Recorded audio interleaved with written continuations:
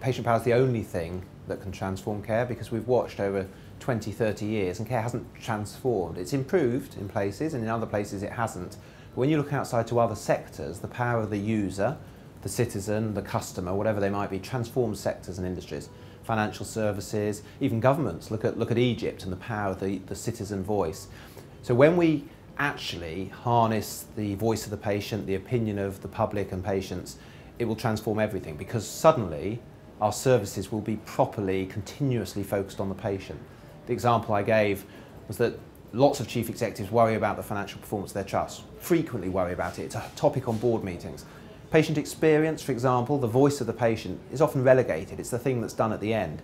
It should be the most important thing because when you put the power of the patient, when you put the patient voice at the centre of everything you do, everything else comes together. So when an organisation says, we're going to listen to the patient, we're going to deliver a fantastic patient experience, clinical metrics improve, financial metrics improve, staff morale goes up. Uh, we hear a lot of talk about organisations saying we want to have a culture that's focused on the patient. But you're not going to do that unless you measure what's important to the patient. And I say if organisations measure what's important to the patient, then that gives the patient power because their voice, their opinion, their experience suddenly becomes central to the organisation and to healthcare.